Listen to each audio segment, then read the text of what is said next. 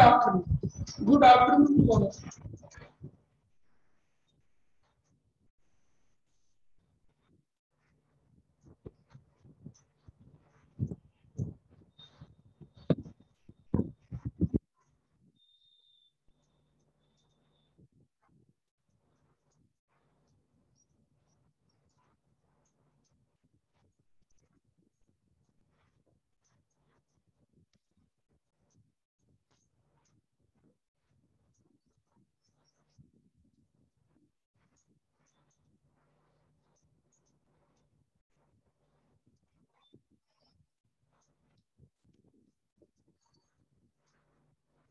start करते हैं। थोड़ा सा थ्योरी और है।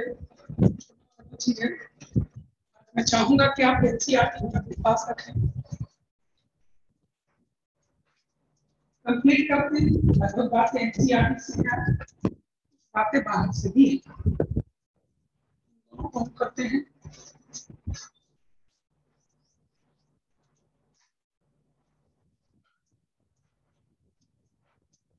कुछ बातें एनसीईआरटी से है, कुछ बातें एनसीईआरटी के बाहर से है, उनको हम समझते हैं। जो एनसीईआरटी से डिटो आता है एग्ज़ाम में, उसको मैं बोर्ड पर लिखवाऊँगा नहीं, ठीक है? क्योंकि वो डायरेक्ट एनसीईआरटी से आता है, उसको कॉपी में लिखने से कोई फ़ायदा नहीं अब जैसा डिमांड है, उसी के हिसाब से हमें चलना पड़ता है।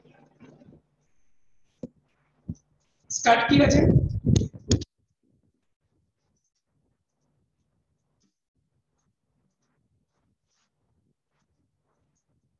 सबसे पहले हम good afternoon good afternoon to all of you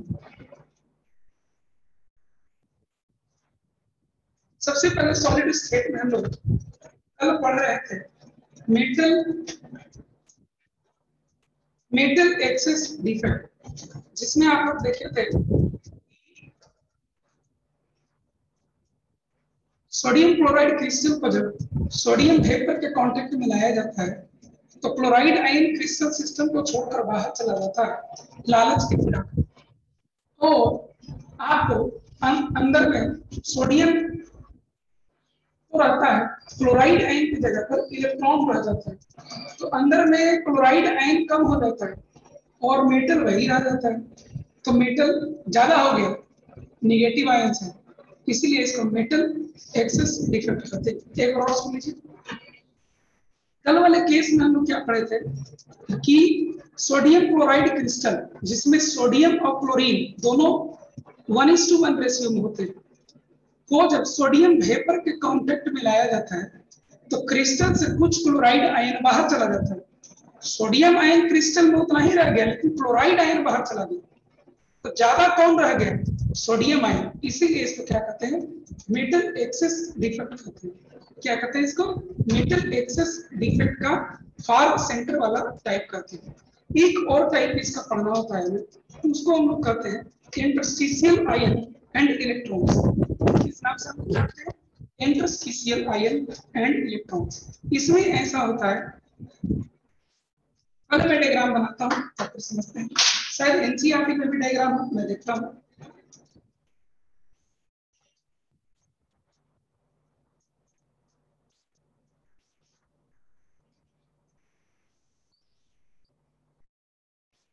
नहीं एनसीईआरटी में इसका डायग्राम नहीं दिया चलिए, कोई बात नहीं, मैं बना देता हूँ।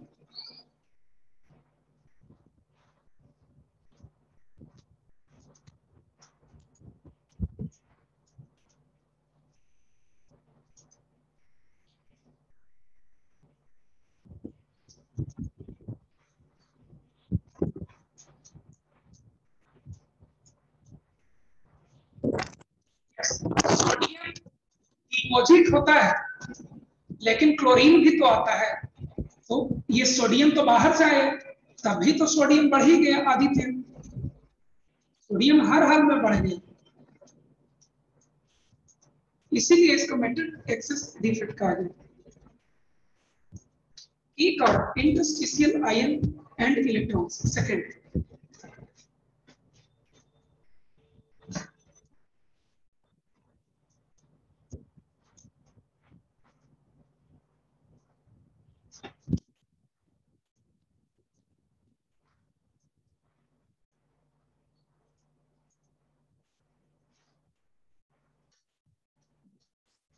interstitial ions and electrons interstitial ions and electrons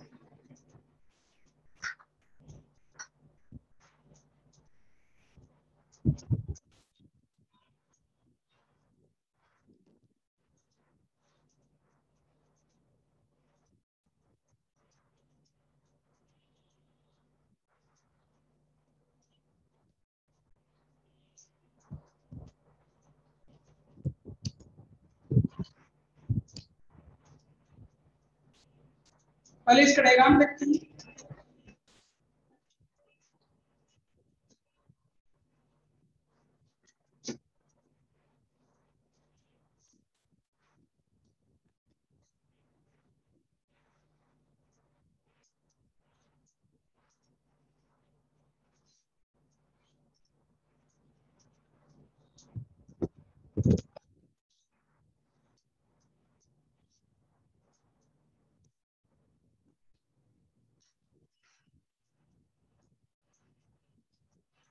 या कोई भी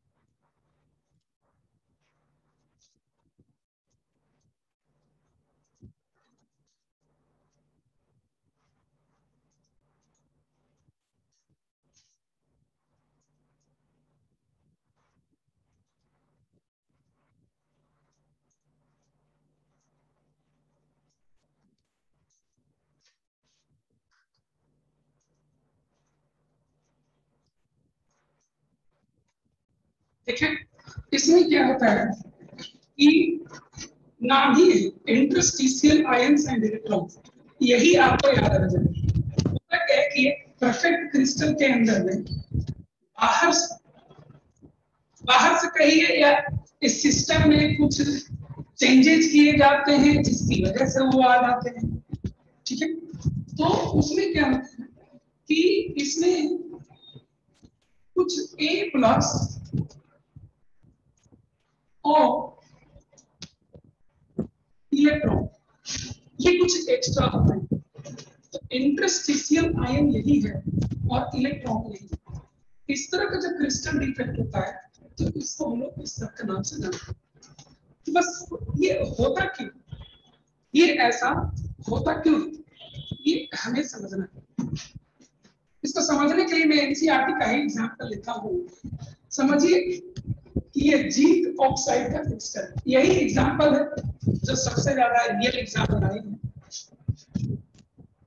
Zinc oxide crystal zinc oxide का क्रिस्टल इसको जब हम हीट करते हैं, इसको जब हम हीट करते हीट करने से ये जेडन जेडन टू प्लस नहीं रह जाता है, लेकिन ऑक्सीजन जो इसका हो जाता है, वो उड़ जाता है। ऑक्सीजन गैस इसका उड़ जाता है। इसका जो इलेक्ट्रॉन है, वो आपको निकल जाता है। किससे बना हुआ है? एक जेडन आयन से and O2 minus oxide ion से बना हुआ वो ऑक्साइड आयन दो इलेक्ट्रॉन को फर्निश करके और खुद O2 गैस में कन्वर्ट हो जाता है। खुद किसमें कन्वर्ट हो जाता है? O2 गैस में कन्वर्ट हो जाता है। ठीक है? ऐसा करने से, ऐसा करने से, ये जो जेड टू प्लस था ये अब इंटरस्टिशियल साइड पर चला जाता है। और जो इलेक्ट्रॉन यहाँ से प्रोड्यूस हुआ, वो भी इंटरस्टिशियल साइड पर चला जाता है। है? ऐसा करने से इस क्रिस्टल का एक रंग में कलर में परिवर्तन हो जाता है चेंज हो जाता है। जब जिंक ऑक्साइड को हम हीट करते हैं तो ये हल्का पीला जैसे दिखता है। और बहुत बार एग्ज़ाम में क्वेश्चन में आया है ठीक है? कि इसमें से कौन सा वो क्रिस्टल है जिसको हीट करने पर लाइट येलो में कन्वर्ट हो जाता है। तो ये जिंक ऑक्साइड है, जिसको हीट करने पर, ये लाइट येलो में कन्वर्ट हो जाता है। ठीक है? और उसका लॉजिक यही है कि हीट करने पर जेडन ऑक्साइड होता है तो zed n two plus and two electron convert होता है। और ऑक्सीजन फेस का होता है, वो एटम ऑक्सीजन गैस बन करके लिबरेट आपको क्या होता है ना ऑक्सीजन गैस बन करके आपको लिबरेट बाहर निकल जाता है। और जो ये लोग बच जाता है, इसका लैटिस पॉइंट तो इनके नाम पर रहता नहीं है। इनको मजबूरन इंटरस्टिशियल साइड पर जाकर के रखना पड़ता है। इस तरह के क्रिस्टल डिफेक्ट को क्या कहते हैं इंटरस्टिशियल आइंस एंड इलेक्ट्रॉन्स इसमें भी क्या है? ऑक्सीजन जो कि नन मेटल था, वो तो बाहर चला गया। अंदर कौन रहा Zn2 प्लस और ये क्या है? मेटल और इसीलिए ये मेटल एक्सेस डिफेक्ट के कैटेगरी किस कैटेगरी में आता है बताइए? मेटल एक्सेस डिफेक्ट की कैटेगरी में आपको आता है। तो चलिए डायग्राम बनाया जाए। डायग्राम बनाया जाए नोट करते हैं। डायग्राम बना लिए हो तो बताइए।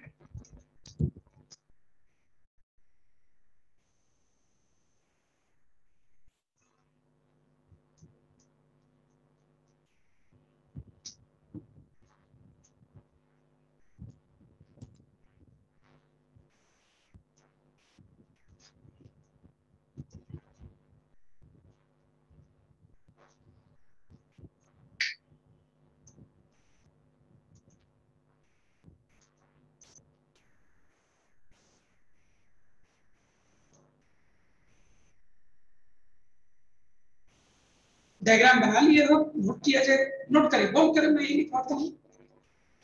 An extra metal an extra metal ion नहीं, फिर से इलेक्ट्रॉन की वजह से ही येलो कलर आता है।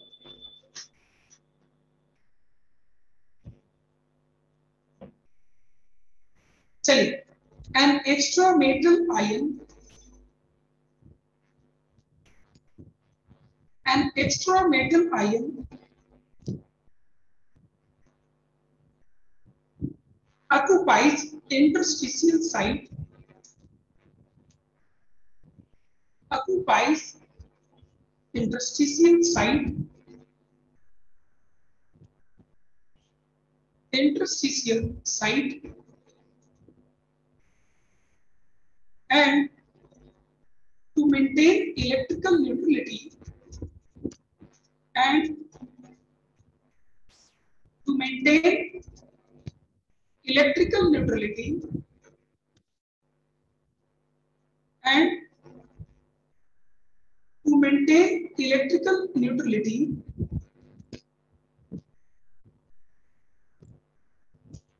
and to maintain electrical neutrality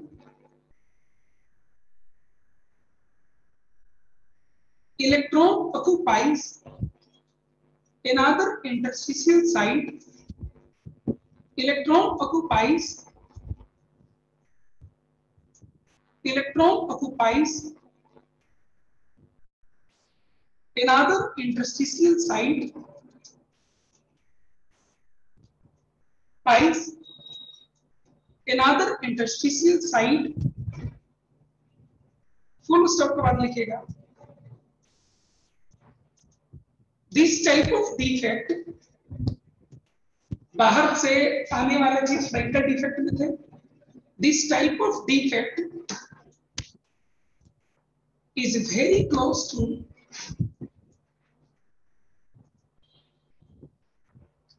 this type of defect is very close ये सब आएगा आपको। This type of defect is very close to Frankel defect. This type of defect is very close to Frankel defect.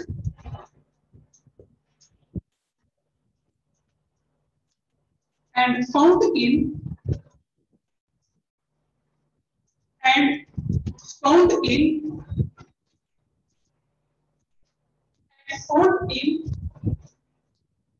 zinc oxide, cadmium oxide,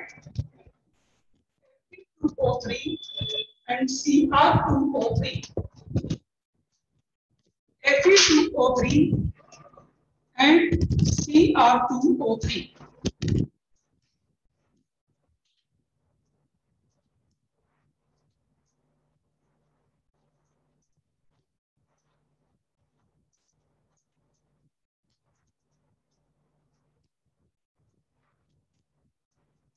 चलिए paragraph change करके लिखिए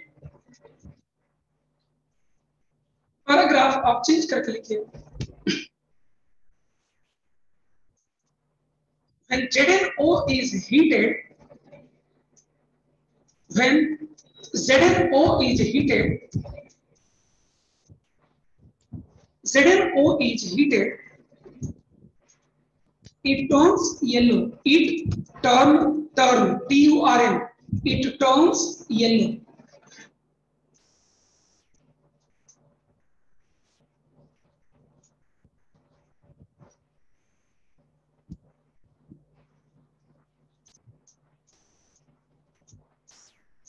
ठीक है? Full stop के बाद लिखिए। Zed two plus ion zed two plus N move to interstitial site interstitial site and there is no hole created in the crystal. And there is no hole H O L E and there is no hole created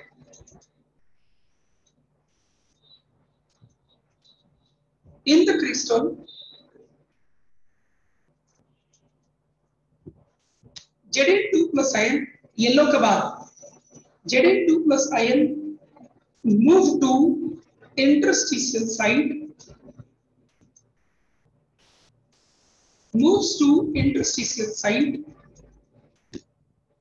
and there is no hole created there is no hole created in the crystal in the crystal और free electron है तो electricity conduct कर सकता है such type of crystal such type of crystal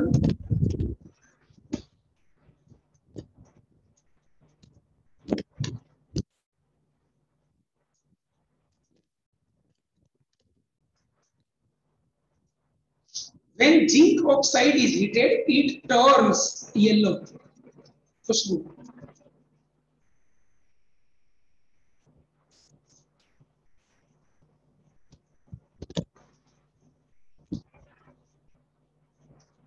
such type of crystal may conduct electricity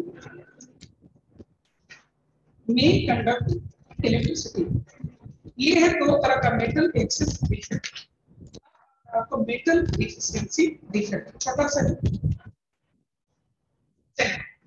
सीखते metal deficiency defect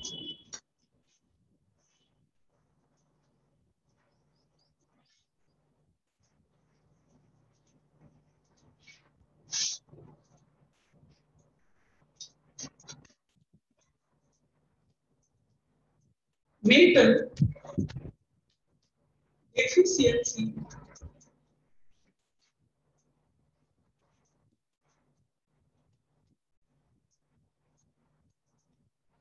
defect mental deficiency defect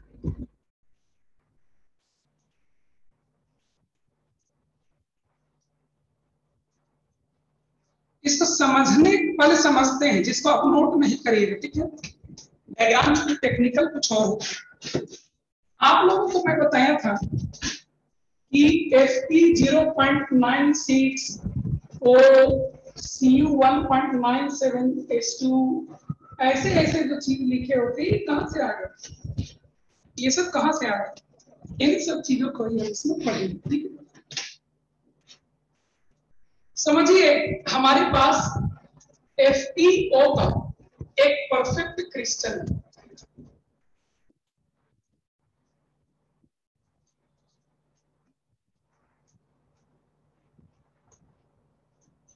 समझिए हमारे पास F का, हमारे पास एफ़ का एक परफेक्ट क्रिस्टल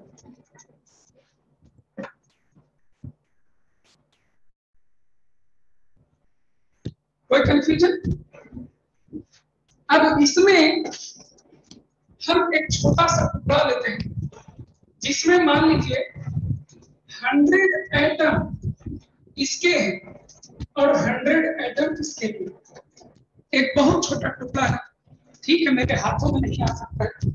लेकिन समझने के लिए हम ले रहे हैं कि एक एफईओ का एक ऐसा टुकड़ा क्रिस्टल का एक ऐसा टुकड़ा हमारे हाथ में जिसमें आयरन का हंड्रेड एटम है। ऑक्सीजन का भी हंड्रेड एटम कंफ्यूजन इसी में हमें डिफेक्ट को सीखना इसी में हमें डिफेक्ट को सीखना आप एक काम करिए इसमें से। ये आयरन यहाँ कौन सा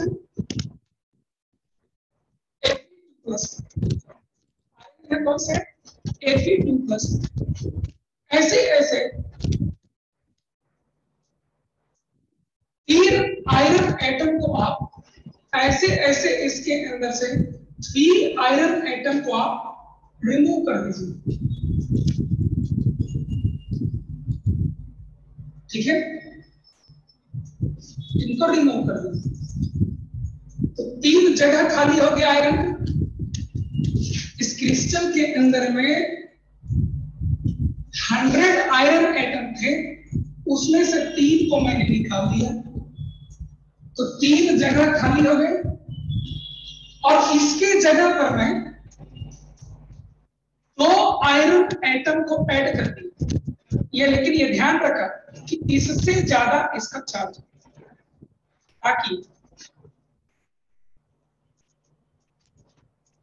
तीन दुनी छ प्लस सिक्स चार्ज जो मैंने रिमूव किया तीन दुनी छ वही प्लस सिक्स मैंने ऐड किया।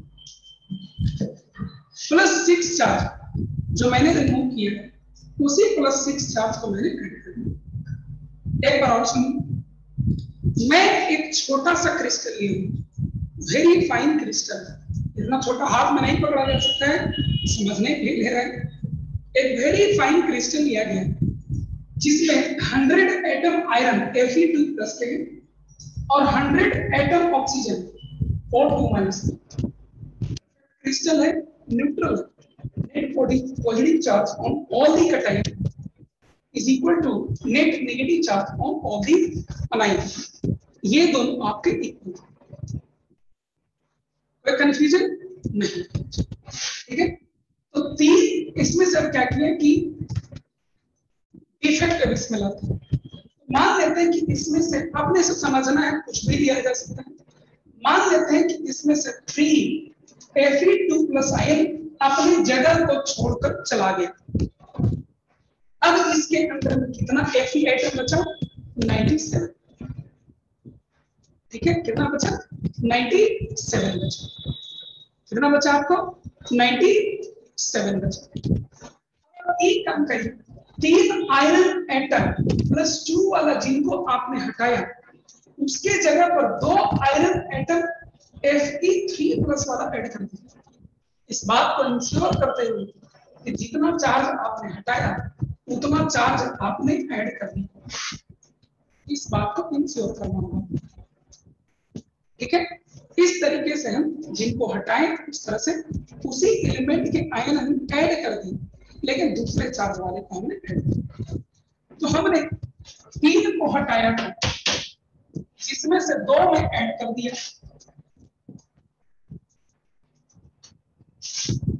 तो ये क्या हो गया? ये तो ऑक्यूपाइड है। लेकिन ये क्या ये आपका गया। ये आपका क्या हो गया? एम्प्टी हो गया। ये आपका क्या हो गया? एम्प्टी हो गया। ठीक है? ये आपका क्या हो गया बेटा ये आपका हो अब आपको क्या करना है? इसी पर काम करना है। देखिए। टोटल ऑक्सीजन एटम तो अभी भी उतना ही, लेकिन टोटल आयरन एटम कितने हैं? टोटल आयरन एटम कितने हो गए? दोनों मिलाते हुए। वो including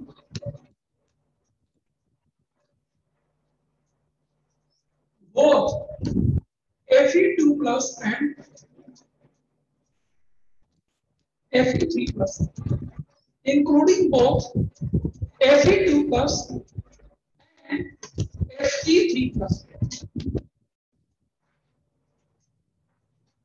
Fe2 plus and Fe3 plus दोनों को मिलाते हुए ऐसा हो गया। ठीक है? तो आप कैसे लिखिएगा हंड्रेड पहले था। में से तीन को आपने हटाया और दो आपने जोड़ दिया। टोटल कितना हो गया? Ninety nine. ठीक है?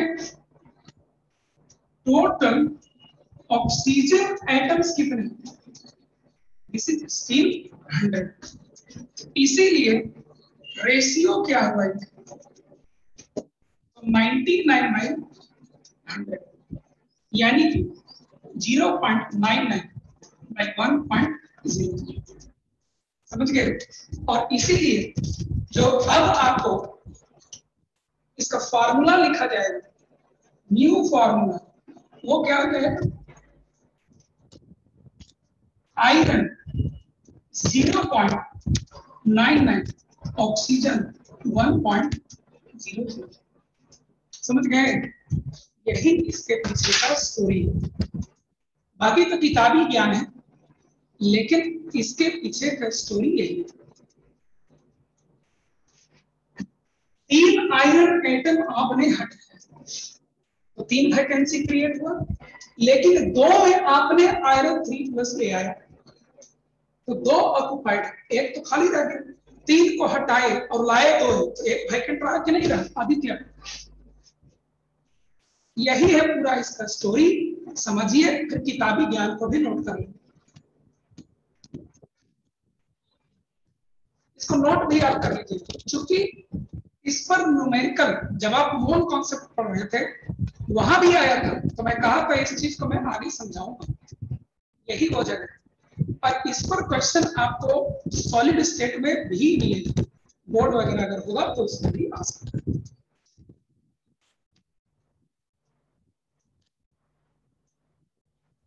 नोट कर लीजिए, फिर इसका डायग्राम बनाएँगे और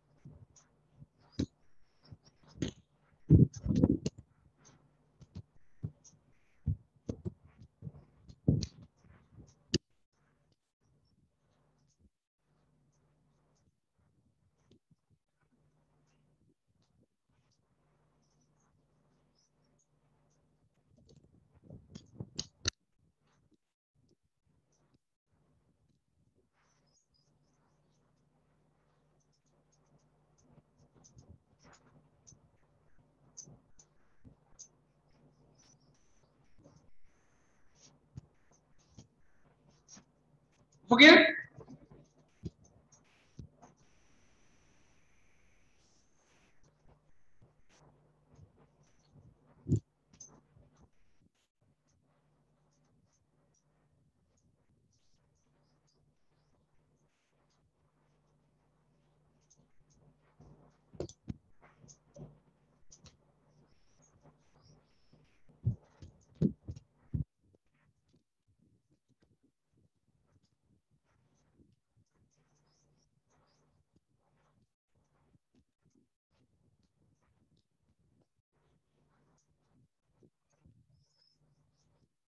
चलिए, अब इसका डायग्राम बना दिया गया, जो आपको कहीं अगर आया तो बनाना होगा।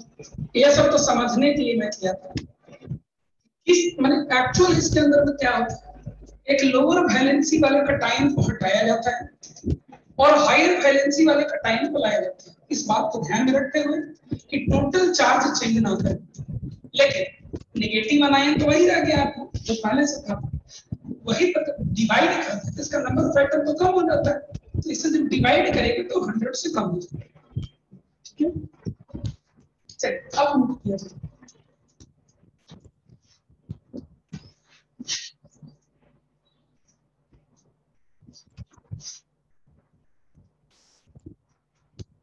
इसके डायग्राम में आपको क्लियरली वहाँ दिखाना होगा। कुछ इस तरह से। अभी नोट नहीं करिएगा, खाली गोला बनाइए फिर नोट कर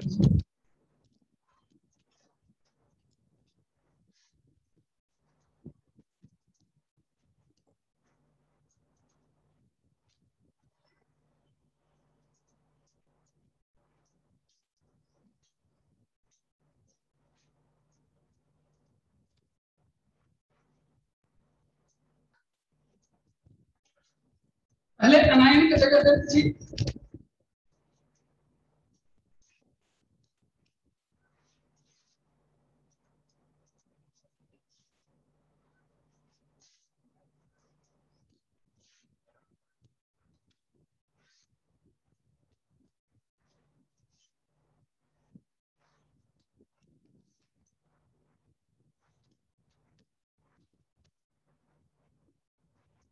ठीक है? आप कटाई को लिखने वक्त एक सावधानी दीजिएगा एक प्लस लिखिए। एक प्लस लिखिए। एक प्लस एक प्लस एक प्लस एक प्लस बस आपको सावधानी ये दिखाना है कि एक जगह पर सब जगह ए प्लस लिखे हो। एक जगह पर कटाई ज़्यादा चार दिखा दीजिए। और एक कम से कम से इतने ही आपको दिखा देना है। इसी का मतलब हो जाता है कि किस चीज़ को बताया जा रहा है। समझ गए? परफेक्ट क्रिस्टल में बस आपको करना क्या है? कि एक कटायन को ज़्यादा चार्ज करते हुए दिखा देना है, और एक और वैकेंसी भी वहाँ ज़रूर दिखाओ, क्योंकि यहाँ दोनों चीज़ों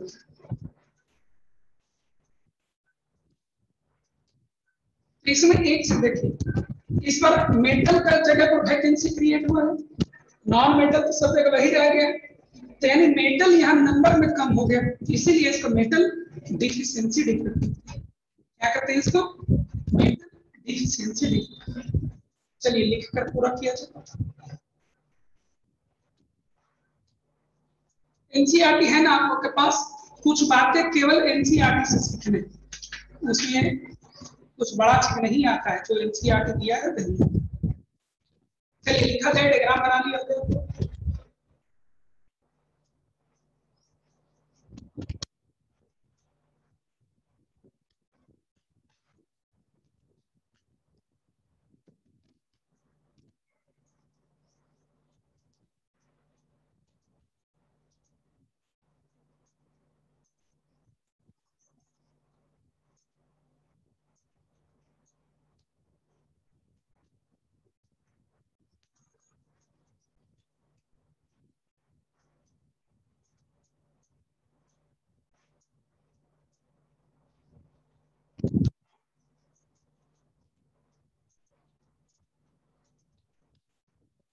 चलिए नोट किए थे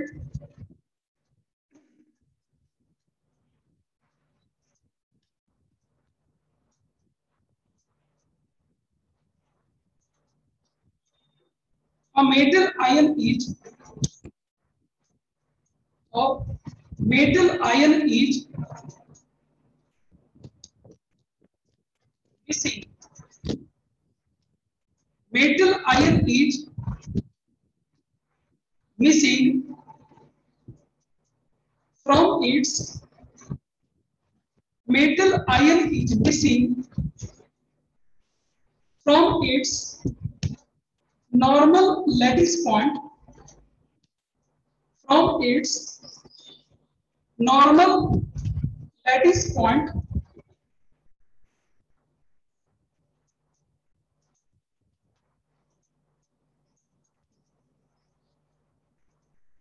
full stop के बाद लिखिएगा the electrical neutrality the electrical neutrality the electrical neutrality is maintained by the electrical neutrality is maintained by the electrical neutrality is maintained by extra positive charge extra positive charge of the incoming metal ion extra positive charge of the incoming metal ion extra positive charge of the incoming metal ion incoming metal ion example note कर लिए थे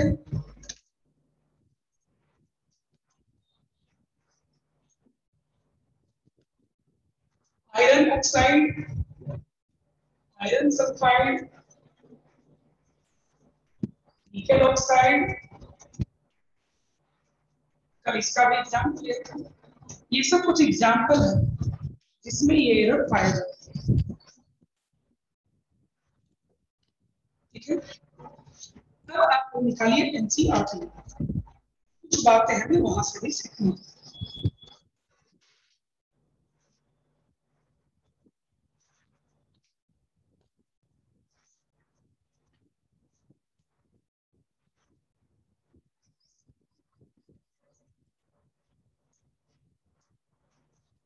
chapter में आपको Monday से start करूँगा solution sorry stereo isomerism stereo sorry isomerism and isomerism के बाद आपको फिर से हम सॉल्यूशन चैप्टर यहाँ से पढ़ेंगे, ठीक है? फ़र्स्ट लाइन रिपीट कर दीजिएगा वीडियो जाएगा, उसे सुन लेना, ठीक है? चलिए एनसीआरटी निकालिए। अब एनसीआरटी में हमें जो बच गया है।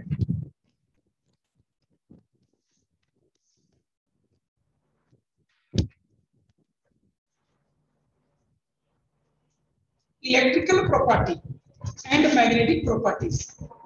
Electrical properties and magnetic properties हम लोग को बच गया। तो स्टार्ट करते हैं। इलेक्ट्रिकल प्रॉपर्टी पेज नंबर 24 में आप आ जाइए। मैं कुछ भी लिखवाऊँगा नहीं बेटा। और आप भी इससे ज़्यादा पढ़ने की कोशिश मत करिएगा। जो यहाँ है, उसी को बस समझ लेना। इतना के बाहर एग्ज़ाम में नहीं आए। ठीक है? Page number twenty four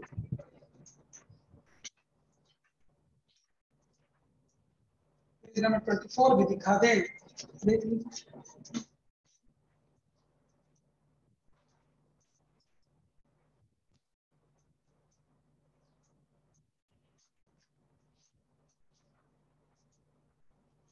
page number twenty four में आ जाइए। इसको नोट कॉपी में आप मत चढ़ाइएगा, जो यहाँ है, बहुत ठीक है? मैं जगह जगह पर बातें आपको बता दूँगा, क्या ध्यान रखना तो ऐसे समझ लीजिएगा देखना ही नहीं पड़ेगा चलिए इलेक्ट्रिकल प्रॉपर्टी मैं रीड आउट करूँगा और एक एक फैक्ट को मैं एक्सप्लेन करूँगा। Solid exhibit an amazing range of electrical conductivities मैं आपको कल परसों कहा था कि solid state has a very wide application in electronics engineering आप इलेक्ट्रॉनिक्स गैजेट किसी भी चीज़ को उठा कर देख लीजिए। वहाँ पर सॉलिड चीज़ का यूज़ किया जाता है। ठीक है? उसमें क्रिस्टल का यूज़ किया जाता है। और क्रिस्टल के प्रॉपर्टी से ही हम लोग सारा चीज़ इलेक्ट्रॉनिक्स इंजीनियरिंग सीखते हैं।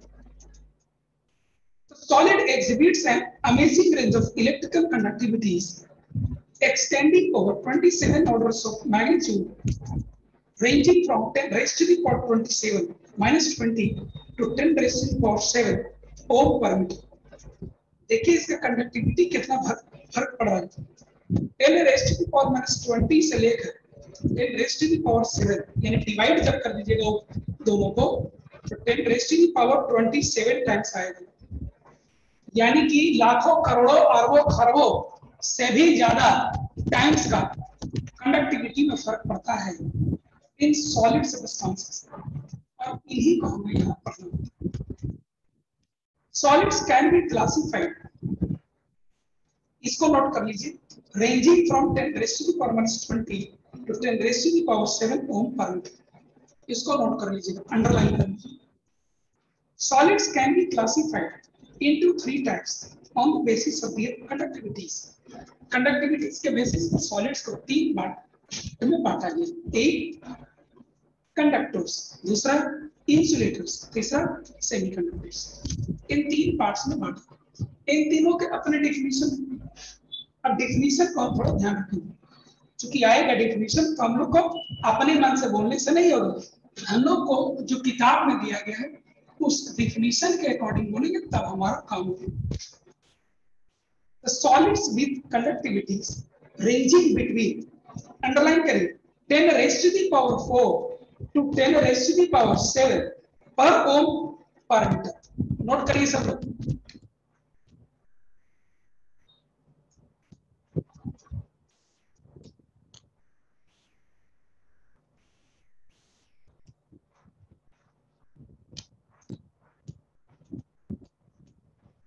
नोट कर लिए आर कॉल्ड कंडक्टर्स मतलब कंडक्टर्स केवल उन्हीं को कहेंगे जिनका conductivity 10 raised to the power 4 से 10 रेस्ट टू द पावर 7 पर पर मीटर के रेंज में आएगा। इसके बियॉन्ड जो आएगा, वो कंडक्टिविटी की कैटेगरी कंडक्टर के कैटेगरी में नहीं आएगा। पर यही डेफिनेशन आपको हर जगह लिखना है केमिस्ट्री में metals have conductivities in the order of 10 raised to the power 7 ohm per ohm per meter or good तो देखिए, इसका upper limit 10 raised to power seven होता ही और मेटल भी उसी रेंज में आ जाता है। तो यानी metals are good conductors metals are what good conductors इसको नोट करिएगा। Metals have conductivities in the order of 10 raised to the power 7 per per meter आजकल यही सब आ रहा है। चलिए। सेकंड सेकंड अब इसको हम किताब में दिया हुआ ऑलरेडी इतना ही पढ़ना है अब इसको मैं अलग से क्या लिखूं इंसुलेटर्स का डेफिनेशन देखिए इन्होंने क्या कहा These are the solids with very low conductivity. ये तो सबको दिमाग में ranging between 10 raised to power minus 20 to 10 raised to power minus 10. Underline करिए 10 raised to power minus 20 ohm to 10 raised to power minus 10.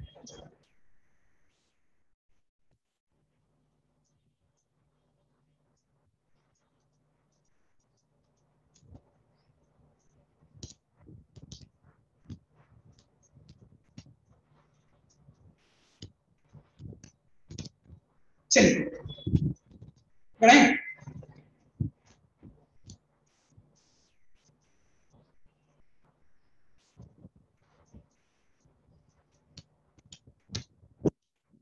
इसमें कुछ एग्ज़ाम्पल यहाँ पर नोट कर लीजिएगा मेरे तरफ़ से। कुछ एग्जाम्पल्स आप नोट कर लीजिएगा।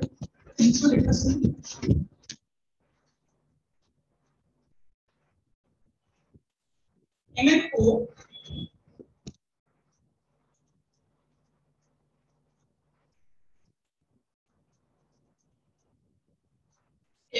iron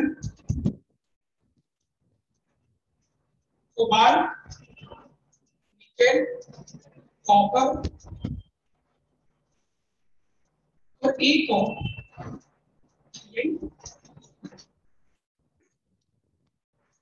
देखने से ये सब लगता है कि मेटल का बना हुआ है। देखने से ये सब लगता है कि मेटल का बना हुआ है। ठीक है? इसलिए जब तक याद नहीं रहेगा, गलत जवाब लेकिन ये सारे क्या है? इंसुलेटर्स। ये सारे क्या है बेटा आपको? इंसुलेटर्स हैं। याद रखिए। चलिए आगे सेमी कंडक्टर्स फिर किसको कहते हैं? तो 10 raised to the power, these are the solid state conductivities in तो अंडरलाइन करेंगे खाली 10 पावर माइनस 6 टू 10 पावर 4 और ये याद रखिएगा। कि सेमीकंडक्टर क्या होता है? कंडक्टर क्या होता है? एंड इंसुलेटर क्या होता है? और जो भी एग्ज़ाम्पल एक्स्ट्रा लिख पाऊँगी याद रखिएगा। देखते हैं, ये मेटल्स के हैं। तो दिमाग में आपको अचानक देखिएगा तो लगेगा अरे मेटल है तो कंडक्टिंग तो होगा, जबकि हकीकत क्या है? ये लोग इंसुलेटर होते हैं। ठीक है। Conduction of electricity in metals आपको याद है केमिकल बॉन्डिंग में मैंने आपको केमिकल बॉन्डिंग में मैंने आपको मेटेलिक बॉन्डिंग का कॉन्सेप्ट दिया था। याद आया लिथियम का एग्ज़ाम्पल लेकर के एमओटी के थ्रू मैंने दो कॉन्सेप्ट दिया था। एक कॉन्सेप्ट था electron sea model kernel kernel और दूसरा पूल ऑफ़ इलेक्ट्रॉन्स और दूसरा मॉडल क्या था? MOT molecular orbital theory concepts मैंने आपको एक्सप्लेन किया था। तो मैं बाहर से नहीं एक्सप्लेन किया था। आपके सिलेबस में था, तब मैंने एक्सप्लेन किया। चलिए, आज आपको वो मिल जाएगा। रास्ते में conduction of electricity in metals ठीक है? इस इस 10.1 का तीनों पैराग्राफ नोट कर लीजिए। 10.1 का तीनों पैराग्राफ नोट कर लीजिए। तीनों पैराग्राफ नोट कर लीजिए। मैं समझाता हूँ। May conduct electricity through movement of electrons or देखो बेटा इलेक्ट्रिसिटी कंडक्ट तभी हो। चार्ज एक जगह से दूसरी जगह जाए ये तो मानते हो? इलेक्ट्रिसिटी कंडक्ट तभी हो जब चार्ज एक जगह से दूसरी जगह जाएगा चार्ज कैसे जाएगा या तो इलेक्ट्रॉन उसको लेकर जाएगा चार्ज कैरी करता है। इलेक्ट्रॉन मूवमेंट से चार्ज कैरीड होगा। या आयन खुद आपको एक जगह से दूसरी जगह चला जाए तभी इलेक्ट्रिसिटी आपका कंडक्ट होगा कितना अच्छा लिखा हुआ लेकिन मेटालिक कंडक्टर्स में क्या होते हैं? Metallic conductors belong to the former category ठीक है? मेटालिक कंडक्टर्स में इलेक्ट्रिसिटी कैसे कंडक्ट होता है? मेटालिक कंडक्टर तो सॉलिड होता है। मेटालिक कंडक्टर तो सॉलिड होता है। सॉलिड में आयन अपने लैटिस पॉइंट पर फिक्स होते हैं, बैठे होते हैं। तो फिर इलेक्ट्रिसिटी कंडक्ट कैसे होगी ऑब्वियसली इसलिए इलेक्ट्रॉन मोबाइल इलेक्ट्रॉन्स कि एक जगह से दूसरी जगह मूव करने से इसी चीज़ को लिखा हुआ है कि metallic conductors belong to the former category मतलब movement of electrons and electrolytes electrolytes किसको कहते हैं? वैसे केमिकल सब्सटेंसेस जिनको वाटर में ऐड करने पर वो आयन में कन्वर्ट हो जाता है। हम लोग इलेक्ट्रोलाइटिक सब्सटेंस वैसे केमिकल सब्सटेंसेस जिनको वाटर में ऐड करने पर, वो आयंस में कन्वर्ट हो जाते हैं। उस सब्सटेंसेस को हम क्या कहते हैं? इलेक्ट्रोलाइट्स कहते हैं। और ये पानी में घुलने के बाद जब आयन में कन्वर्ट होगा, और उस सॉल्यूशन में जब आप इलेक्ट्रिसिटी कंडक्ट करना चाहोगे तो आयंस एक जगह से दूसरी जगह मूव करके चार्ज को कैरी करता है। करंट इसकी वजह से वहाँ होता है। इसलिए इसको कहा गया है? आयंस की वजह यानी कि लाइटर कैटेगरी कहा चलिए, आगे बढ़ते metals conduct electricity in solid as well as molten state सही बात है। मेटल आपको सॉलिड स्टेट में भी इलेक्ट्रिसिटी कंडक्ट करेगा, कैसे? By the movement of electrons और मोल्टन स्टेट में भी इलेक्ट्रिसिटी कंडक्ट करेगा। By the movement of both electron as well as cationic particle the conductivity of metals depend upon the number of valence electrons available per atom सही बात है? मैंने आपको बताया हूँ कर्नेल जब बनता है, कर्नेल जब बनता है तो मोबाइल इलेक्ट्रॉन या लूजली हेड इलेक्ट्रॉन को छोड़कर बनता है। बताया आपको? कर्नेल जब बनता है मोबाइल इलेक्ट्रॉन और लूजली हेड इलेक्ट्रॉन को छोड़ करके बनता है। तो जितना ज़्यादा मोबाइल इलेक्ट्रॉन आपको होगा, उतना ज़्यादा उतना ज़्यादा इलेक्ट्रिसिटी कंडक्ट करने की टेंडेंसी रहेगी। और यही बात, ये बात मैं आपको पहले पढ़ा चुका हूँ। लेकिन यही बात यहाँ पर आपको लिखा हुआ भी the connectivity of metals depend upon the number of valence electrons available पर एटम जितना ज़्यादा होगा इलेक्ट्रिसिटी उतना ही ज़्यादा कंडक्ट होगा।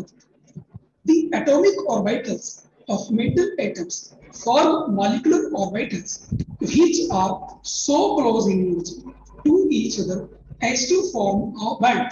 याद आया आपको बैंड कॉन्सेप्ट मैंने कौन सा कॉन्सेप्ट आपको मैंने दिया था? बैंड कॉन्सेप्ट आपको मैंने दिया था। और उसी बैंड कॉन्सेप्ट पर ये हमको जाके चुका दिया। मैं आपको एक मिनट तक टाइम देता हूँ। तब तक आप ये रिकॉल करें कि बैंड कॉन्सेप्ट क्या है। और तब तक मैं पानी पीता हूँ?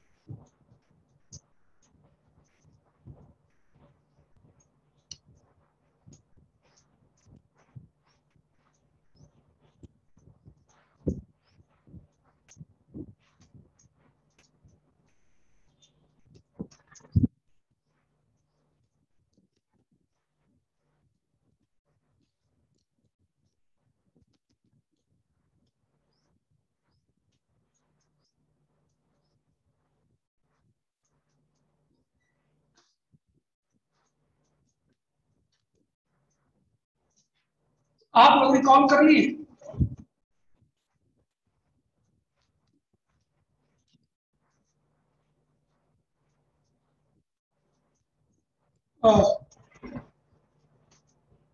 आप लोग रिकॉल कर लिए। और इस डायग्राम को आप देखिए, जो पेज में दिया हुआ अब उन डिटेल्स को मैं आप पढ़ाने तो नहीं जाऊँगा। ये वही सब दिया हुआ है जो मैं आपको पढ़ाया था। बैंड स्ट्रक्चर में एमओटी को यूज़ करके मैंने आपको एक्सप्लेन किया बॉन्डिंग ठीक है?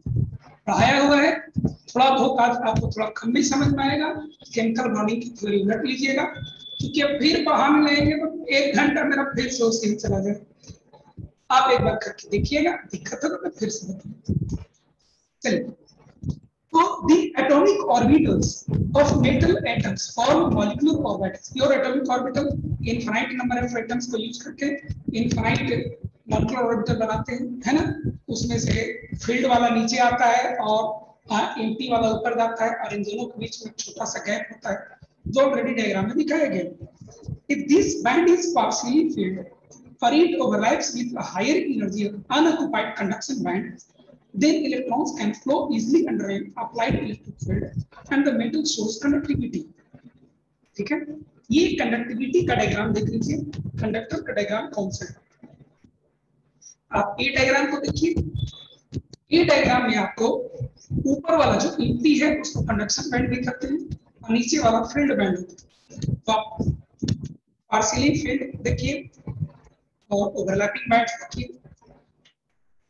पार्शियली फ़ील्ड बैंड ठीक है?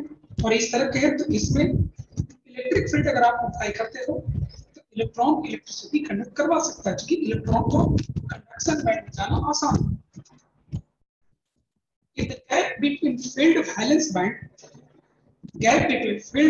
Valence band यानी कि नीचे वाला, आसमानी वाला, and the जो कि कंडक्शन बैंड होता है, वो लार्ज होगा अगर ये दोनों लार्ज हो तो इलेक्ट्रॉन को जंप करके इंटी बैंड में जाना कंडक्शन बैंड में जाना काफ़ी डिफ़िकल्ट होता है। और जब हम इलेक्ट्रिक फ़ील्ड अप्लाई करते हैं, तभी ऐसा पॉसिबल नहीं हो पाता है। और इस तरह से जो बनता है, इसको हम लोग क्या कहते हैं? इंसुलेटर कहते हैं। Electron cannot jump to it and such substance has very small conductivity and is behaves as insulator ठीक है कैसा बिहेव करता है वो? इंसुलेटर की तरह बिहेव करता है।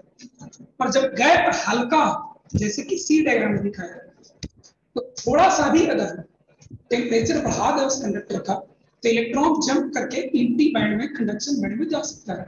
और इलेक्ट्रिसिटी इजीली कंडक्ट किया जा सकता है।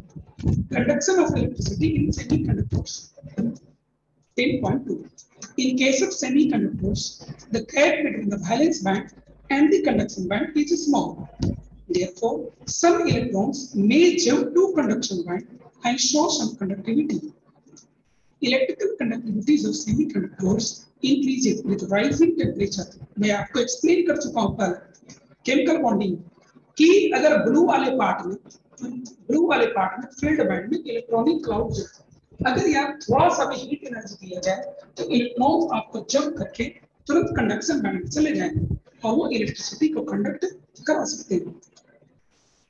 इस चीज़ को नोट कर लीजिएगा। Electrical conductivity of semiconductors increases with rising temperature जबकि कंडक्टर में क्या होता है? टेम्परेचर इंक्रीज करने से कंडक्टिविटी घटता है। Since more electrons can jump to the conduction. Substances like silicon and germanium show this type of behavior called intrinsic semiconductor. Intrinsic का मतलब जिनको जन्म से वो प्रॉपर्टी होता है मतलब जब भी आपको जब भी आपको सिलिकॉन और जर्मेनियम होगा उसमें ये प्रॉपर्टी रहेगा conductivity of these intrinsic semiconductors is too low लेकिन इनका जो अपना जन्म से वाला जो कंडक्टिविटी का प्रॉपर्टी है ये काफ़ी कम होता है the conductivity of these intrinsic semiconductors is too low to be of practical use इतना कम होता है कि इसको प्रैक्टिकल यूज़ में नहीं लाया जा सकता their conductivity is increased तो फिर यूज़ में लाने के लिए इनके कंडक्टिविटी को इंक्रीज किया जाता है their conductivity is increased by adding an appropriate amount of suitable impurity underline करिए their conductivity is increased by adding an appropriate amount of suitable impurity देखो बेटा मेटल में क्या होता है? कर्नेल का कॉन्सेप्ट होता है। कर्नेल अपने पोजीशन पर लैटिस पॉइंट पर स्थिर होता है। इलेक्ट्रॉन चारों तरफ़ से मूव कर रहा होता है। ठीक है? जैसे समझिए कि मैं ऐसे स्थिर हूँ। तो हवा को आने जाने में कितना आसान है सब्जेक्ट और मैं भी अगर ऐसे हिलना डुलना स्टार्ट कर दिया तो हवा को भी मेरे तरफ़ से होकर जाने में दिक्कत होगा कि नहीं होगा यही चीज़ होता है when temperature is raised the atoms or molecule the atoms in metallic crystal start vibrating at their respective positions which hinder the passage of the passes or flow of the electricity or the electrons.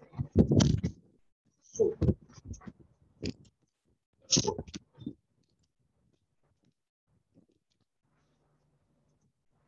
their conductivity is increased by adding an appropriate amount of suitable impurity. This process is called doping. क्या करते हैं इसको हम लोग doping करते हैं। कितना अच्छा नोट्स की तरह ये लिखवा दिए। क्या करते हैं बेटा इसको हम लोग डोपिंग करते हैं। क्या करते हैं इसको? डोपिंग कहा जाता प्रॉपर्टी को इम्प्रूव करने के लिए बाहर से मटेरियल लाया जाता है। और इसी प्रोसेस को हम क्या करते हैं? डोपिंग करते हैं। Doping can be done with an impurity which is electron rich or electron deficient as compared to intrinsic semiconductor silicon or germanium. Silicon और जर्मेनियम डोपिंग किया जाता है किन मटेरियल का डोपिंग किया जाता है वैसे एलिमेंट का डोपिंग किया जाता है जिसमें इलेक्ट्रॉन या तो सिलिकॉन जर्मेनियम से एक दो ज़्यादा हो या तो सिलिकॉन जर्मेनियम से एक दो इलेक्ट्रॉन उसमें कम हो तो सिलिकॉन जर्मेनियम से एक दो इलेक्ट्रॉन ज़्यादा रखने वाले कौन तो सिलिकॉन से एक ज़्यादा इलेक्ट्रॉन फास्फोरस में होता है। होता है कि नहीं? नाइट्रोजन में होता है। आर्सेनिक में होता है। दो इलेक्ट्रॉन ज़्यादा। सल्फ़र में होता है। है ना? इस तरह से आता है। सेलेनियम में होता है। इसी तरीके से सिलिकॉन से एक इलेक्ट्रॉन कम अल्यूमिनियम में होता है। गैलियम में होता है। इंडियम में होता है। दो इलेक्ट्रॉन कम। स्ट्रोडियम में होता है। बेरियम में होता है। इस तरह से पीरियोडिक टेबल से आप सोच सकते Doping can be done with an impurity which is electron rich or electron deficient as compared to the intrinsic semiconductor, silicon or germanium. Such impurities introduce electronic defects in them. और यही उसमें electronic defects लाते हैं अब मैं बताता हूँ electronic defects अब जो हम लोग लाएँगे वो फ़ायदा के लिए लाएँगे वो क्वालिटी को इंप्रूव करने के लिए सेमी सेमी कंडक्टर के कंडक्टिंग एबिलिटी को बढ़ाने के लिए ठीक है? क्योंकि प्योर सिलिकॉन या प्योर जर्मनियम जो होता है, वो आपको पुअर सेमी कंडक्टर होता है।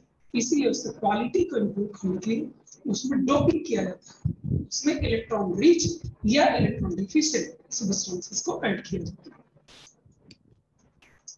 इलेक्ट्रॉन रिच या इलेक्ट्रॉन डिफिशिएंट सब्सटेंसेस को ऐड किया जाता है। तो इलेक्ट्रॉन रिच इंप्योरिटीज क्या होता है? इलेक्ट्रॉन रिच वाले रहे फास्फोरस आर्सेनिक इन सबको डालिए तो क्या होगा एक काम करिए, नीचे जो डायग्राम दिया गया है, इसको आप बढ़िया से देखिए। सबसे पहला डायग्राम देखिए। सबसे पहला डायग्राम में आपको परफेक्ट क्रिस्टल दिया गया है। सिलिकॉन के एटम दिए गए सिलिकॉन के वैलेंस इलेक्ट्रॉन्स कितने होते हैं बेटा? चार। सिलिकॉन के वैलेंस इलेक्ट्रॉन्स कितने होते हैं? चार।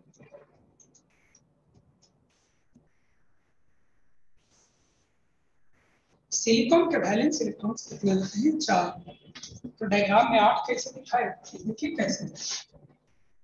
एक, दो, तीन, चार, पाँच, छ, सात, आठ इस सिलिकॉन के कितने इलेक्ट्रॉन्स हैं? चार।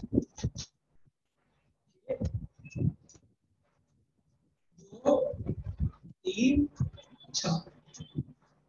इस तरह से इसके भी चार एक दो, तीन, चार। इसके भी चार एक इसके भी चार एक, दो, तीन, चार। वो ओके आप इसी को आप ऐसे दिखाइए। या इसको आप ऐसे दिखाइए। ऐसे दिखाइए। इसको आप ऐसे ऐसे दिखाइए। या इसको ऐसे ऐसे दिखाइए। या इसको ऐसे समझ में समझ में आ गया आपको। इसी तरह से वहाँ डायग्राम बना हुआ है ए इसको हम लोग परफेक्ट क्रिस्टल समझ में आया सबको? इसमें समझाया नहीं क्या? हद हो एकदम। इनके भी एक इलेक्ट्रॉन और इनके भी इलेक्ट्रॉन। दो इलेक्ट्रॉन है तो बीच में दो इलेक्ट्रॉन दिखा दिया गया। इनके भी दो एक एक इलेक्ट्रॉन तो दो दिखा दिया गया। इनके भी दो इलेक्ट्रॉन तो इसको भी दिखा दिया गया।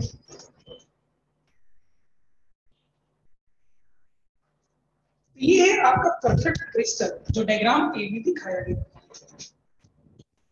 ठीक है? जो कि डायग्राम ए में आपको दिखाया गया अब आप आ जाइए डायग्राम ए उसको समझने के लिए आप ऊपर के ए पॉइंट को पढ़ें मैं समझा रहा हूँ आपको। Silicon and Germany belong to group 14 of the periodic table. And have four valence electrons each. सभी एटम में चार valence electrons हो गए In their crystals, each atom forms four covalent bonds with its neighbors. और यही यहाँ पर दिखाया गया When doped with a group 15 element like phosphorus or arsenic, which contains five valence electrons. They occupy some of the lattice sites the silicon or germanium crystal. अब हम लोग doping start करते हैं। आप बी डायग्राम में देखिए। B diagram को गौर से देखिए? बी डायग्राम में आपको एक एक सिलिकॉन एटम को हटा दिया गया है। तो सिलिकॉन एटम को हटाइएगा तो चार इलेक्ट्रॉन उसके नाम पर हटेगा।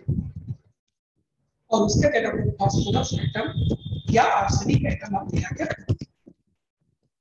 पाँच इलेक्ट्रॉन के साथ आएगा पाँच में चार का इस्तेमाल तो हम फिर से नेबरिंग से पड़ोसी से इस्तेमाल कर चार इलेक्ट्रॉन का, लेकिन पांचवा इलेक्ट्रॉन इसका एक्स्ट्रा हो जाएगा।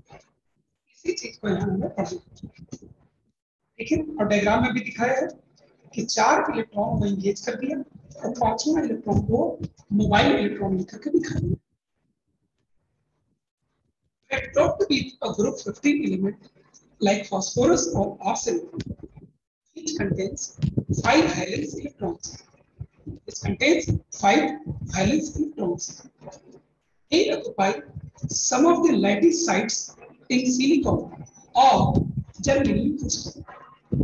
Four out of five electrons are used in the formation of four covalent bonds with the four neighboring silicon atoms. The fifth electron is extra and becomes delocalized. और यही जो fifth electron है, ये आपको swimming pool बनाता है। ये आपको क्या बनाता है बेटा? डीलोकलाइज यानी स्विमिंग पूल बनाता है। These delocalized electrons increases the conductivity of doped silicon और germanium. समझ गए? यही जो एक्स्ट्रा इलेक्ट्रॉन होता है, ये पूल ऑफ़ इलेक्ट्रॉन की तरह।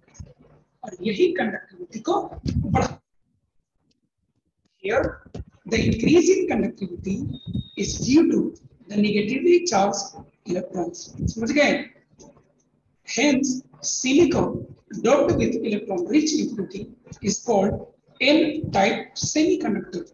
N for negatively charged electron. N for negatively charged electron. इसीलिए इसको N टाइप सेमीकंडक्टर समझने में किसी को दिक्कत? अगर मैं इनको लिखवाता तो एक्सप्लेन करने में कम से कम इतना लिखवाऊं। ये ऑलरेडी यहाँ आपको समझा चुकी हूँ।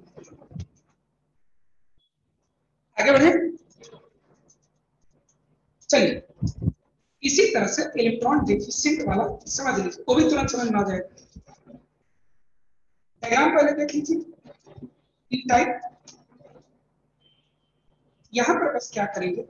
एक सिलिकॉन एटम को हटाएँगे और उसके जगह पे बोरन या एल्युमिनियम या गैलियम इनमें से किसी एटम को लाएँगे जो कि एक इलेक्ट्रॉन कम रखता है। किसके कंपेरिजन में?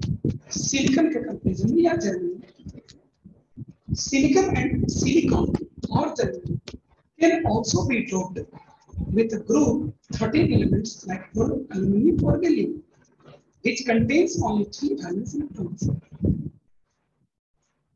The place where the fourth valence electron is missing is called electron hole or electron vacancy. The other atom, an electron from a neighboring atom can come and fill the electron hole, but in doing so, it would leave an electron hole at its original position. If it happens, it would appear as if electron's hole has moved in the direction opposite to that of the electron. That field. Under the influence of electric field, मैं explain कर रहा हूँ. Under the influence of the electric field, electrons would move towards the positively charged plate through electron influence.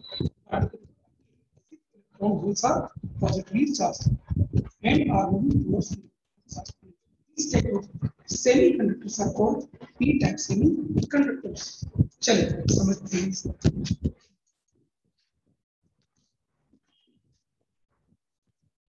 में समझते हैं एक दो और बनाते हैं हो जाए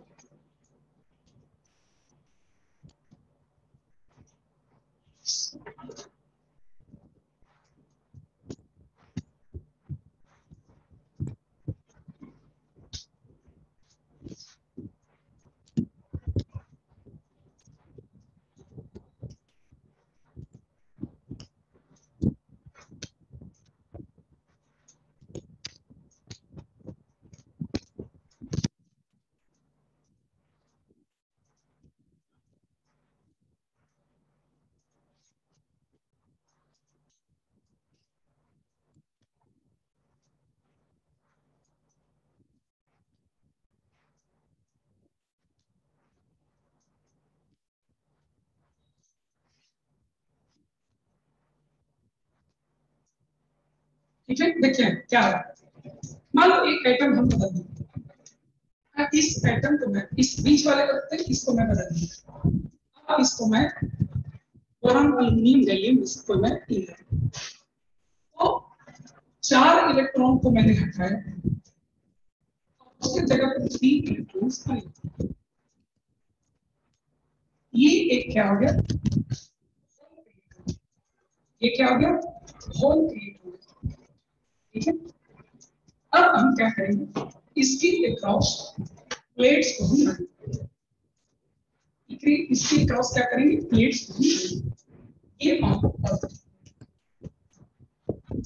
ये तो इस चैम्बर के अंदर, इस क्रिस्टल के अंदर में इलेक्ट्रिक फ़ील्ड किस डायरेक्शन में एस्टेब्लिश होगा? इलेक्ट्रिक फ़ील्ड आपको इस डायरेक्शन में एस्टेब्लिश पॉजिटिव प्लेट टू इसमें ऐसा ये होगा। इसमें ऐसा ये होगा कि यहाँ पर सब भरा हुआ है तो ये इलेक्ट्रॉन को कोई दिक्कत नहीं लेकिन यहाँ पर जब होल क्रिएट हुआ ठीक है, यहाँ पर ऐसे भी बना सकते थे, ये ऐसे कर देंगे। और एक अब ऐसा होगा कि ये जो होल क्रिएट हुआ है, ये खाली है। और electron electric field sorry electric field आप ऐसे लगाएँगे यहाँ खाली जगह ये इलेक्ट्रॉन इलेक्ट्रिक फ़ील्ड में अट्रैक्ट होता है। और ये जंप करके यहाँ तो यहाँ फिर से क्रिया क्या क्रिएट हो जाएगा? वैकेंसी क्रिएट हो जाएगा। क्या क्रिएट हो जाएगा यहाँ? वैकेंसी क्रिएट हो जाएगा। वैकेंसी या होल क्रिएट होगा। वैकेंसी या होल क्रिएट होगा। तो फिर से इलेक्ट्रॉन आप इलेक्ट्रॉन मूव किया। इलेक्ट्रॉन आपको यहाँ से मूव करेगा। ये वैकेंसी क्रिएट हुआ, इसको भरने के लिए ये इलेक्ट्रॉन फिर से यहाँ मूव करेगा तो आप एक चीज़ देख सकते हैं, आप एक चीज़ देख सकते हैं कि from negative plate to positive plate आपको लगता है कि इलेक्ट्रॉन मूव कर रहा है। लेकिन अगर दूसरे डायरेक्शन में देखिए, दूसरे डायरेक्शन में देखिए तो एक चीज़ आपको और नज़र आएगी। ये होल आपको यहाँ पहले होल यहाँ था इलेक्ट्रॉन यहाँ आया, लेकिन होल यहाँ चला गया। इलेक्ट्रॉन यहाँ आया, लेकिन होल आपको यहाँ चला गया। इलेक्ट्रॉन का मूवमेंट इस डायरेक्शन में हो रहा है, और होल का मूवमेंट अपोजिट डायरेक्शन में हो रहा है। ना? ऐसा लगता है कि पॉजिटिव चार्ज मूव कर रहा है। ताकि पॉजिटिव चार्ज मूव कर रहा है। और इसीलिए इसका पी टाइप क्या कहा गया टाइप पॉजिटिव पी टाइप कहा गया क्या कहा गया इसको? टाइप इसको कहा गया ठीक है? अब इसका इस्तेमाल समझ में आ गया तो डायग्राम आप चाहे तो बना सकते हैं। डायग्राम ये चाहे तो बना सकते हैं आपको रोज है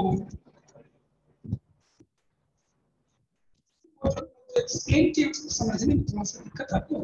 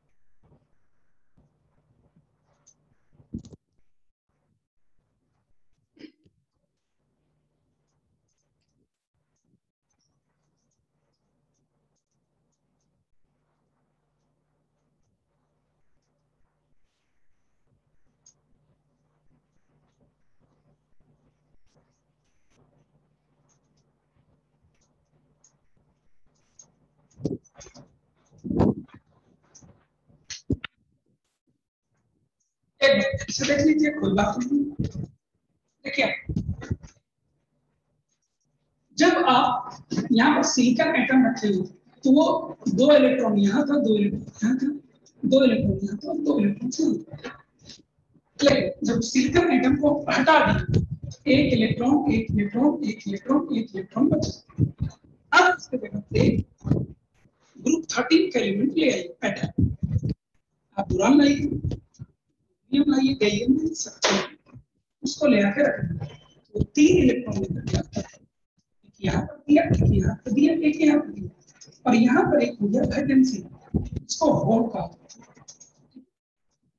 एक ऐसा क्रिस्टल है जिसमें यहाँ पर एक होल है। मतलब इसके बाउंड्री में दो, चार, दो, छह और एक सात इलेक्ट्रॉन आठवां इलेक्ट्रॉन का जगह वैकेंट होल इसी अब ऐसे क्रिस्टल के अक्रॉस जब हम वोल्टेज अप्लाई करते हैं प्लेट्स पॉजिटिव प्लेट और नेगेटिव प्लेट लगा करके जब हम वोल्टेज अप्लाई करते हैं तो positive plate to negative plate electric field आपको स्टैब्लिश होता है।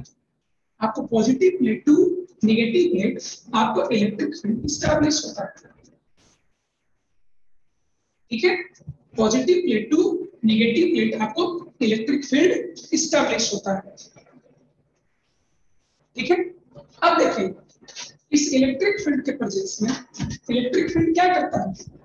और इलेक्ट्रॉन को अपनी ओर खींचेगा ऐसे वो अपनी ओर खींचेगा जब वो इस तरीके से अपनी ओर खींचेगा, ये यहाँ खाली जगह है। यहाँ पर बैठा हुआ इलेक्ट्रॉन खींचा करके यहाँ आ जाता है। इलेक्ट्रॉन मूव करके यहाँ आ गया। यहाँ वैकेंसी क्रिएट हो गया होल क्रिएट हो गया इसको भरने के लिए ये इलेक्ट्रॉन फिर से इलेक्ट्रिक फ़ील्ड में अट्रैक्ट होकर यहाँ आगे से यहाँ आ जाएगा, इस तरह से चलते चला जाएगा।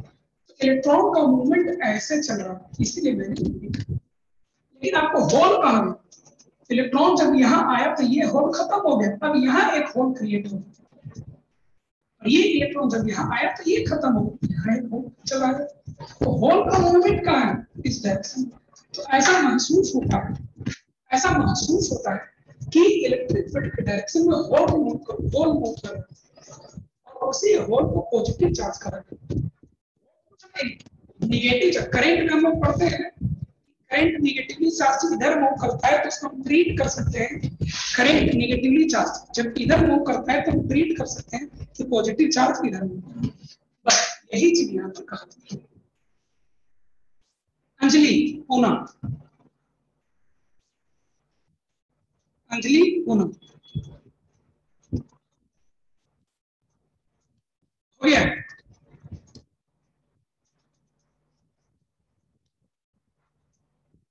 चलिए, अब इन डायग्राम ज़रूर बना लीजिएगा।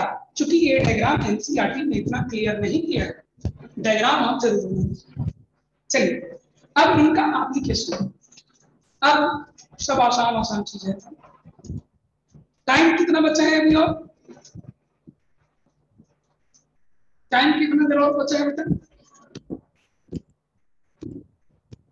जानकारी है पाँच मिनट और पाँच मिनट किया जाए n type and p type semiconductor various combination of n type मैंने जो पीछे पढ़े एन पी टाइप अब एन टाइप और पी टाइप ये सब बहुत डिटेल में आपको चंदन सर फिजिक्स में पढ़ा है। यहाँ सॉलिड स्टेट में कितना है सीखना various combinations of n type and p type semiconductors are used for making electronic components. आपको बता रहा था कि इलेक्ट्रॉनिक्स इंजीनियरिंग में ही इसका बहुत इस्तेमाल होता है। Diode is a combination of n type and p type semiconductors. And is use as और रेक्टिफाइड सिग्नल को कई गुना से बढ़ाने के लिए रेक्टिफायर को यूज़ किया जाता है। Transistors are made by sandwiching a layer of one type of semiconductor between two layers of the other type of semiconductors sandwiching किया जाता है। अब ये सब चीज़ आपको चंदन सर फिजिक्स में पढ़ाएँगे, वहीं डिटेल में पढ़ना। एनपीएन मैंने एन और एन के बीच में पी डाल दिया तो सैंडविच बन गया। और पी और पी के बीच में एन डाल दिया, फिर से सैंडविच बन गया। Type of transistor are use to detect और एम्पलीफाई रेडियो और audio signal solar cell is an efficient photo diode use for conversion of light energy to electrical energy कैसे कन्वर्ट होता है? ऐसा फिजिक्स में सिखाएँगे। germanium and silicon are group 14 elements and therefore have a characteristic valence of 4 and four bonds as in diamond मैं आपको पढ़ा चुका हूँ केमिकल बॉन्डिंग में सिलिकॉन और जर्मेनियम का स्ट्रक्चर डायमंड की तरह होता है A larger variety of solid state materials have been prepared by combination of group 13 to 15 and 15 and 12 and 16 to similar simulate average balance of four as in germanium or silicon. और नया तरीका ये ढूंढा क्या? हम सिलिकॉन नहीं लेंगे। हम जर्मेनियम नहीं ग्रुप 13 का एक एलिमेंट चुनेंगे। ग्रुप 15 का एक एलिमेंट चुनेंगे। और इनको 50-50 परसेंट लेके बनाएँगे। तो एवरेज इलेक्ट्रॉन्स एक जगह से तीन आ जाएगा, एक जगह से पाँच आ जाएगा एवरेज निकालेंगे तो चार हो जाएगा। इस तरीका का उपाय किया गया। इसी तरह से 12 एंड 16 का भी किया जा सकता है। Simulate average values of four as in germanium और silicon equal compounds of group 13 and 15 are ये सब आपको यहाँ दे दिया gallium arsenide semiconductors have very fast response and have revolutionized the design of semiconductor devices. ZNS, CDS, CDSE, SGTE are example of group 12 of 16 compounds. In these compounds, the bonds are not perfectly covalent and the ionic character depends on the electronegativities of two elements. It is interesting to learn that transition metal oxides show marked difference between electrical properties. PiO, CrO2 and ReO3 behaves like metals. Underline करिएगा, star लगा दीजिएगा. Rhenium oxide, ReO3, underline करिएगा, is like metallic copper in its conductivity and appearance. Underline करिएगा. Certain other metals, oxides like VO, VO2, VO3, TiO3 show metallic or insulating property depending on their temperature. ये सब याद करिएगा रट लीजिएगा। क्योंकि ये सब चीज़ एज इट इज़ आएगा समझने के लिए आपसे नहीं पड़ा ऑलमोस्ट ये चैप्टर हो चुका है। थोड़ा सा मैग्नेटिक प्रॉपर्टी है। इसमें कई सारा चीज़ें। तो वैसे बहुत ज़्यादा डिटेल में ये भी फिजिक्स में ही पढ़ना है। यहाँ मैं जिस लेवल में पढ़ना है आपको पढ़ा दूँ। अब आप लोग शीट बनाना सॉलिड स्टेट का चालू कर दीजिएगा। और पीछे वाला सीट जो था, उसको कंप्लीट कर लीजिएगा ठीक है? थैंक यू थैंक यू अगला चैप्टर आपका आइसोमेरिज्म है